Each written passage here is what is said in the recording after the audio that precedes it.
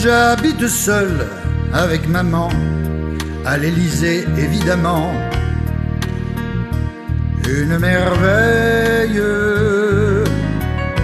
pour nous servir le jour, la nuit. 800 personnes sont asservies. Sur nous, elle veille pour que maman puisse dépenser. Je dois chaque jour raqueter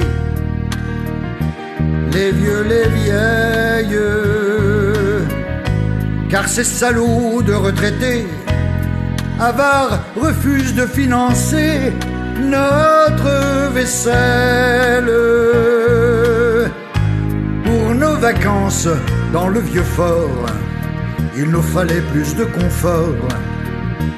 Une piscine, on descend souvent voir les gueux on fait des selfies avec eux, on les fascine.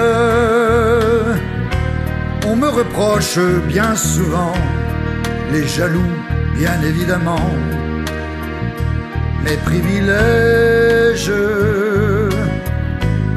Mais je suis là pour profiter, au diable l'exemplarité.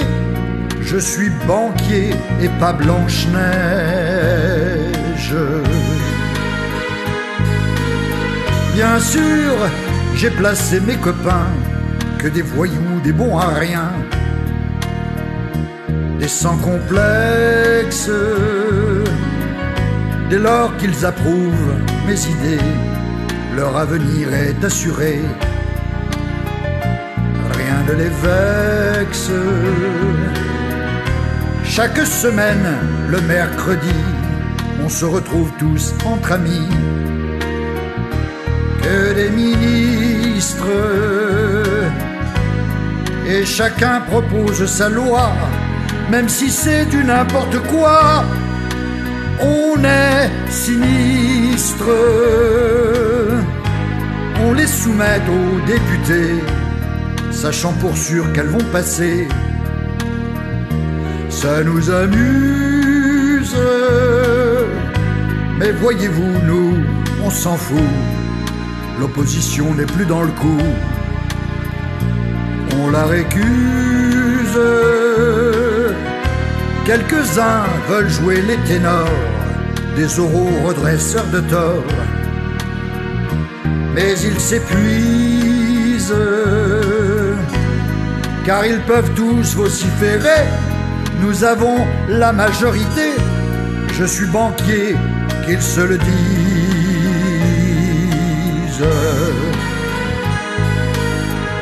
Je rencontre d'autres dirigeants, avec eux on ne parle que d'argent. On se rassure, on fait croire que tout va changer, mais en fait rien ne doit bouger.